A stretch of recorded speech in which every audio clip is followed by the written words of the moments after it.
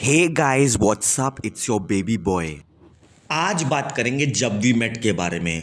बताऊँगा एक ऐसी कॉन्स्पिरेसी थ्योरी जो कि फ़िल्म से जुड़ी हुई है। But before starting the video I be really glad if you could please support me by subscribing to my channel let start so guys आप सबने जब वी मेट देखी है राइट right? आपको फ़िल्म की स्टोरी पता है। गीत और आदित्य मिलते हैं। गीत की ट्रेन छूट जाती है। आदित्य उसे सेफली घर पहुंचाता है। घर से भगाता है। अंशुमन से मिलाता है। जब गीत घर वापस नहीं लौटती तो गीत को वापस लेके आता है और उनकी शादी हो जाती है। कॉन्स्पिरेसी थ्योरी ये कहती है कि ये जो पूरी फ़िल्म के सारे इंसिडेंट है, ये सब गीत ने प्लान किया था और पूरी फ़िल्म गीत के इशारों पे चल रही थी। गीत एक बहुत ही बड़बोली लड़की थी और वो बहुत बकबक करती थी, पर वो दिमाग की पैदल नहीं थी, वो बहुत ही इंटेलिजेंट लड़की थी। जब वो ट्रेन पे चढ़ती है तो वो देखती है, वहाँ पे आदित्य पहले से ही बैठा रहता है।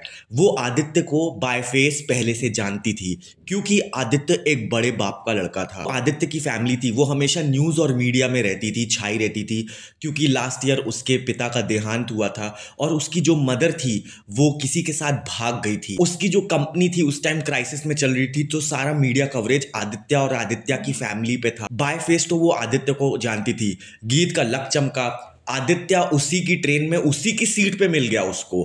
गीत तो खुश हो गई, अरे वाह यार, एक अमीर लड़का मिला है। ये आदित्य के साथ इंटरेक्ट करती है और ऐसी सिचुएशन होती है कि इसकी ट्रेन छूट जाती है। पर आदित्य एक अच्छा लड़का निकलता है गाइज़ वो गीत की हेल्प करता है। कोई और लड़का होता तो उस सिचुएशन का फ़ायदा उठाता।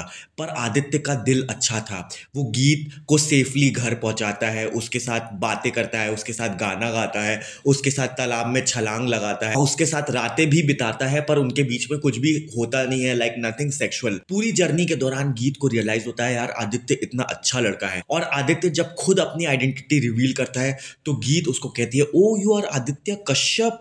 जिसकी मॉम भाग गई थी, फिर उससे कहती है सॉरी सॉरी सॉरी बट सच बात तो ये है कि गीत उस टाइम एक जेन्युन रिएक्शन देना चाहती थी कि मैं तुमको नहीं जानती हूँ बट सच बात तो ये है, गीत पहले से ही उसे जानती थी। वो क्योंकि वो ऑलरेडी फ़ेमस था। जब वो आदित्य के साथ ट्रैवल कर रही थी आप देखोगे पूरी फ़िल्म में कभी भी अंशुमन का कॉल नहीं आता गीत को। ये 2007-8 की कहानी है और उस टाइम बटन वाले फ़ोन चलते थे।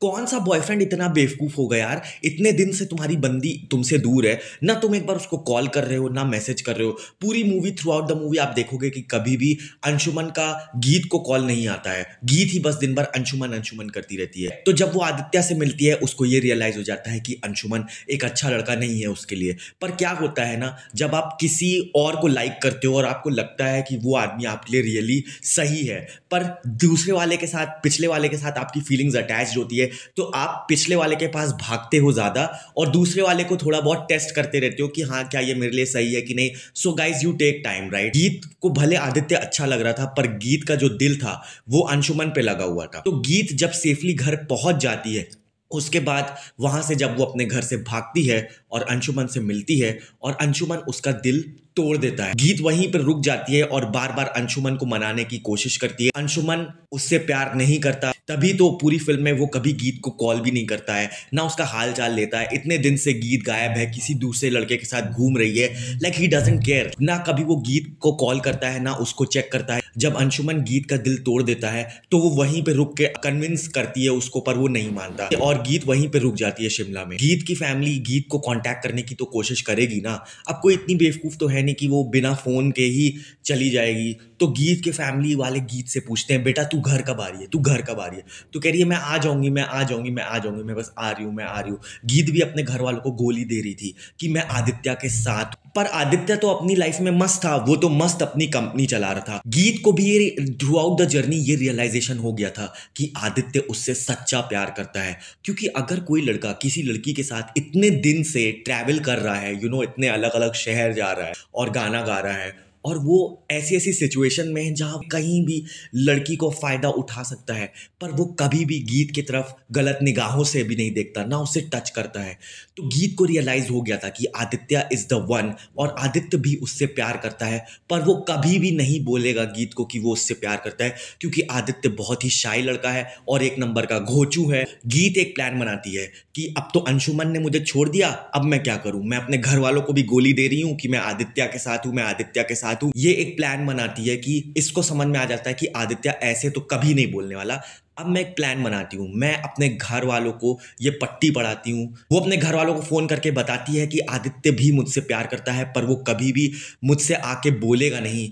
और ना मुझे कभी प्रपोज करेगा। ये पूरा प्लान गीत ने प्लान किया था, अपनी फैमिली को बताया था कि आदित्य एक बहुत ही अमीर लड़का है और एक बार आदित्य के साथ मैं सेट हो गई तो हम लोग की तो चांदी चांदी है भाई, हमारी पूरी फैमिली बैठ के खाएगी। तो ये पूरा अपने घर वालों को समझाती है कि आदित्य कभी भी इनिशिएटिव नहीं लेगा मुझे पाने का। तो आप लोग को ही जाके उसको एनकरेज करना पड़ेगा कि वो मेरे पास आए। फिर गीत के घर वाले आदित्य की कंपनी में जाके उसको बोलते हैं, गीत कहाँ है? पूछते हैं, गीत कहाँ है? जबकि उनको क्लियरली पता होता है कि गीत कहाँ है। और फिर उसके बाद आदित्य को ये रियलाइज़ होता है कि बेटा यही मौका है।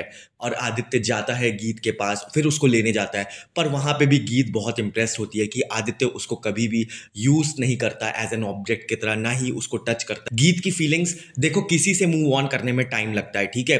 तो गीत के दिल में अंशुमन के जो फीलिंग्स थी, उसको वो प्रोसेस कर रही थी और वो पूरी तरह से कंप्लीटली मूव ऑन नहीं कर पा रही थी क्योंकि वो हील नहीं हो पा रही थी। आदित्य डर जाता है कि अब मैं क्या करूँ? कि इसकी फैमिली तो मेरे पे इल्ज़ाम लगा रही है। तो इसीलिए वो उनसे कह देता है कि हाँ गीत भी मेरे साथ है। और फिर जब वो गीत को ले लेके वापस घर आता है तो फैमिली को पता है कि ये दोनों साथ में आ रहे हैं और वो पहले से ही शादी की तैयारियाँ स्टार्ट कर देते हैं। सो so गाइज़ देखा आपने, ये पूरी चीज़ गीत ने प्लान की थी to get Aditya. Subscribe and follow for more